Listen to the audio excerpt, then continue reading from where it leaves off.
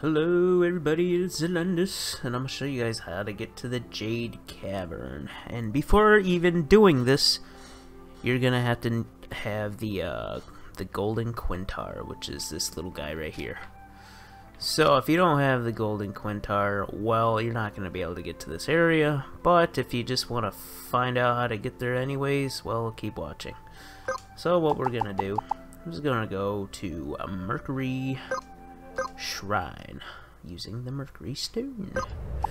Then what we're gonna do is get on the golden quintar. We're gonna jump over here, jump up here, jump across here, jump up here, glide over here, jump up here, do some more glidey glidies, and then we're gonna come across Grand's house.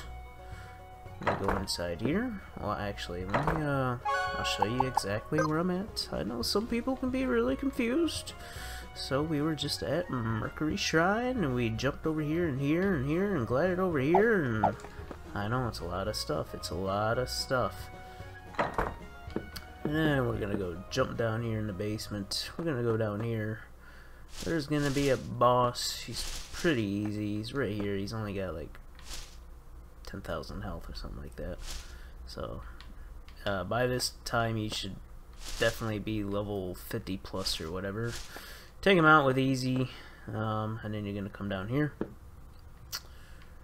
And then, uh, yeah, you can access this place from his house, or if you go to the west side, I'm gonna show you a different way to actually get to this place. So there's actually three ways. You can come from the, um, the pyramid. This is underneath the pyramid. Uh, in this place, the ancient, ancient reservoir. It's pretty much right underneath the pyramid. So, and then the other way is through the river system, which I'll show real quick.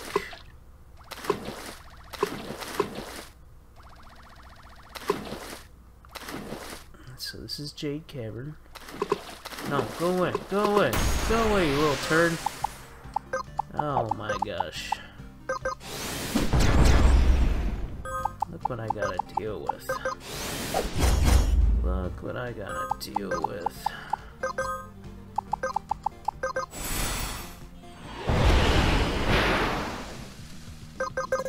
Okay, let's go up here. This is gonna be the third way to get in here. Um, you guys may have recognized this spot right here which is uh it's right outside um Delende. This is where uh this is a guy that wanted the bones, the kid that wanted the three bones with the dogs. And it's just in this area right here. So that's another way. There's a, there's a few ways. So if you can access this river, like, this river connects to quite a lot of places. But anywho, we're gonna go down here because this is probably taking a little too long. To access this spot, we're gonna have to do a run and jump. Glide right here. This is how you get inside to this NPC. I think there is some stuff in here. I can't remember if there is or not. I just want to show you how to get to the NPC. And then we're gonna do a run and jump, and this has to be like almost perfect. Takes a few tries. Sometimes I can get it, no problem. There we go. It's a long jump. And then there's going to be an NPC right here. And he sells a very, very, very good armor. Now, he's going to request seals of each class mastery. So if you can get each seal, you bring it to this guy. And there's 24 seals in total. 24 classes.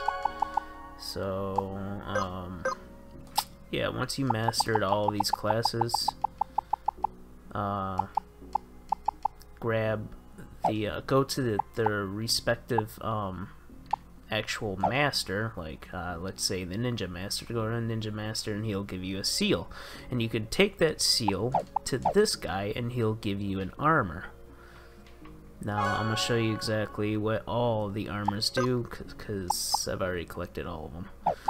Alright, um, equipment. Um, and if you guys are probably wondering like how I mastered every single class on every single character, well, I have a video on my channel of how to get the best way to get LP. So check out that video and it'll show you how to get LP like crazy. Like I'm talking about like 8 to 10 LP levels just for one little mob. So go watch that video if you want to get a lot of LP. Anyway, let's get to the equipment. Um, or, yeah, armor. So, let's see here. Um, no, that's, no. Guardian? No, that's not one of them. Okay, Hunter's Oh, actually, let me, um, before I even do that, I think I have some equipped. Alright, so here's the Weavers. It's got 50 defense, 200 resistance, got some, some mind. Uh, the best thing about this is never misses physical attack, so that is absolutely awesome. It's light armor. Pretty awesome. I really like the Weaver's robe. So that's what you get for turning into Weavers. For turning into Clerics, you get a really, really good light armor Cleric robe. It's got 60 defense, 190 resistance, 60 spirit, 35 more healing, 35%. Really nice. Um, yeah, pretty much best in slot for a cleric, that's for sure.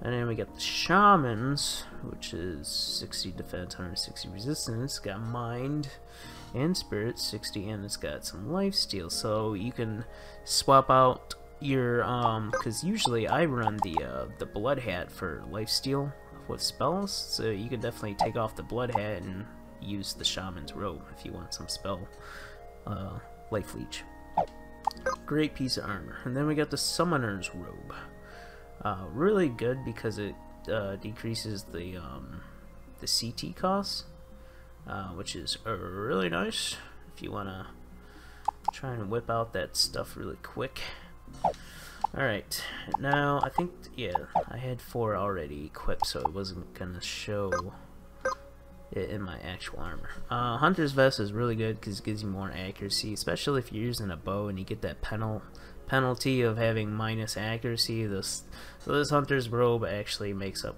uh, quite a bit of that. You get a lot of your accuracy back, so it's perfect. Definitely perfect for the Hunter. Then we got the Assassin's Cloak. Gives you a lot of dexterity. 50%, like, damn. Then we got the Assassin's Vest. This is amazing too, because you can stack up a lot of crit damage. A lot of, plus it has that 5% chance of instant kill. Also, each of these um uh, armor pieces gives you the respective appearance. So, like, if you get the assassin, you get the assassin appearance. It changes your whole entire character's appearance. Pretty cool. And then we got the Nomad's Vest. This is absolutely a really OP item because it starts you off with 30 AP at battle start. I use this armor all the time, to be honest. Plus, it gives you 30 attack and mind. Like, it's, it's got everything you'll want. There's nothing to hate about this armor. The 30 AP at the start of the battle is just absolutely amazing. Wizard's Robe, pretty nice. Gives you, I mean, the only good thing about this is uh, you get the uh, the magic um, up 35% more magic damage. I mean, there's some really good competitive robes for, so know, it's not really the best. But Mimic's Mail, another good piece of armor. Um, gives you 10% physical, magical, and healing. Really good all-around armor. Especially for heavy armor and you're trying to get some magic damage, well, here you go. then, oh no, that's, you get that from uh. I got a video on that too, so if you want to know how to get this, go uh, defeat Rexasaur. Uh, Reaper's Mail. This one's uh, pretty good if you want to get power up. Then we got Fencer's Vest. This one's decent if you want to swap out a uh, a passive, your dual dual wield passive. So this one I actually give you uh, two more turns. So because the passive only gives you one, this armor gives you two. So it's pretty nice, pretty nice. And then samurai armor gives you more um, AP, so you can stack up more AP. Pretty decent. It's not bad. Ninja's vest. Um, I actually haven't really used this that much. Uh, get a buff for one turn or physical hit. Yeah, not really that great. Maybe in some situation. Oh wait, the evasion might be pretty good if you're trying to make a full evasion build. I guess that'd be decent. Rogues, uh, pretty good piece of armor. You get the attack, you get and you get the speed. Pretty good all around armor. Beastmaster's armor. Um, I actually wanted to test out a uh, a luck damage build. Like, I think there's a um a skill that requires a lot of luck, and I think you can use this armor to scale up the damage. So I kind of want to test that out. This might actually be really really good. So I'll have to test that in the future. Then we got the Scholar's Robe. Um, this one's nice because if you want to uh, try and get a little bit more defense on your um, your mages, uh, this could be an option for you depending on the situation. Then we got the uh, Chemist Robe. Um, abilities consume half the items. Huh, I guess it's decent. I actually haven't used this, like, at all. so I'm not sure if this is, like, super good or not. Then we got the Dervish Robe. This is pretty good if, if you're only using the Dervish, because he would kind of benefit more with this. Um, yeah, decent armor. Beatsmith. Uh, this is not bad if if you want to um, substitute this with the uh, uh, what's that passive called? Oh, preemptive strike. So if you want to substitute preemptive strike, you can swap this armor out with it. Uh, Valkyrie's Mail, you get a 15% healing permanently per turn, so that's not too bad if you're if you put this on your tank. You don't really have to worry about too many heals. Um, Aegis Mail. Getting AP will also recover X amount of... You know, I really haven't actually used this. It sounds nice, but I'm never really short of AP, so... This might be good for, like, the longer battles, maybe? I don't know. Warlock. Double cast can be used multiple times during the same turn. This actually sounds really awesome and I never tried it yet but I definitely want to give it a give it a, a shot. So, haven't messed around with it yet. Warrior's Mail, 50% uh, more threat. Mm, usually stuff is dead before you can even get full threat, so it doesn't matter. Uh, Monk's Vest. Uh, this one's pretty solid to get uh, strength while unarmed, plus 30.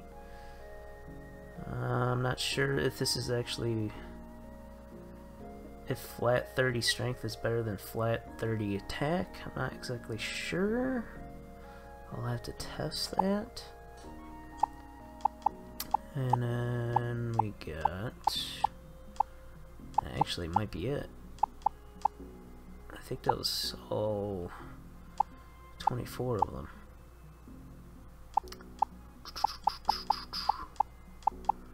Yep, I think that was it.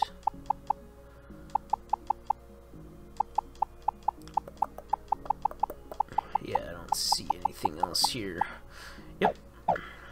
Is all the armors and what they do and how they get to the Jade Cavern and what you need to do in order to get the armors. So, if there's anything I missed, got any questions, um, as far as this room goes, I don't know why there's a room here and why there's a infinite death pool. I don't know. There might be some kind of secret with that. Or where this exactly goes. I don't know. Just a Weird room. I thought there would be something in there special. But that's it. And you guys all have a great day.